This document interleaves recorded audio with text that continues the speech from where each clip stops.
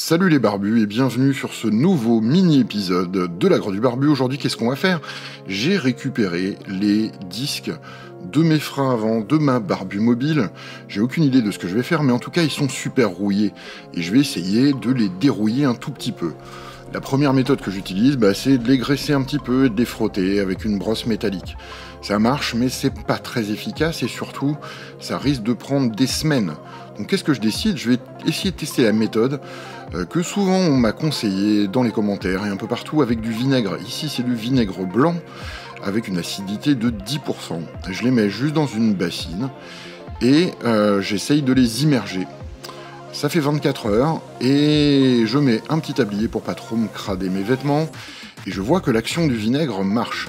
Mais bien sûr, euh, les deux ne sont pas submergés, donc je vais rajouter quelques litres de vinaigre. Le vinaigre, c'est vraiment pas cher. Là, ça m'a coûté 36 centimes le litre de vinaigre. Alors celui-là est un peu moins concentré puisqu'il est à 8%. Euh, et comme vous le voyez, le vinaigre fait son effet, ça fait des bubules. Euh, et je l'ai laissé encore reposer pendant une petite journée. Et il est temps de nettoyer tout ça. Alors, je vais le nettoyer avec de l'eau, avec de l'eau tiède pour pas me cailler les doigts, euh, dans un bac. Et je les brosse avec une brosse métallique.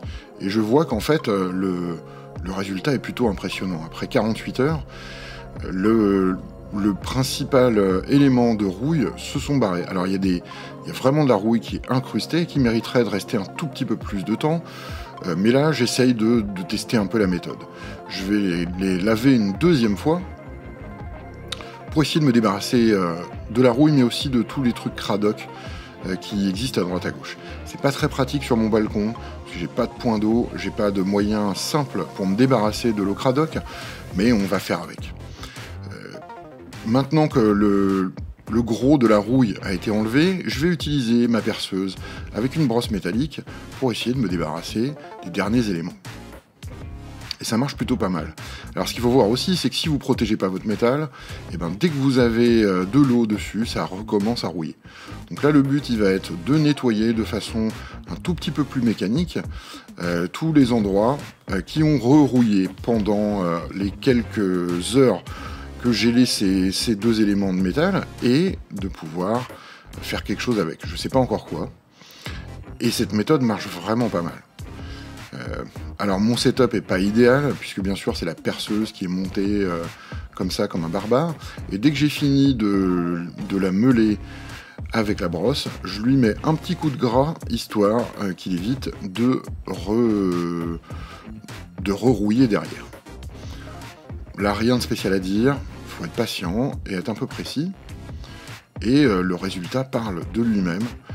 Toute la rouille n'a pas disparu, mais 90% de la rouille a été enlevée grâce au vinaigre et à la brosse. Je dis c'est plutôt un super win et une bonne méthode. Alors ça pue, mais ça marche. Voilà. Et bien c'est tout pour cet épisode. Merci à tous, à très bientôt et que la barbitude soit avec vous.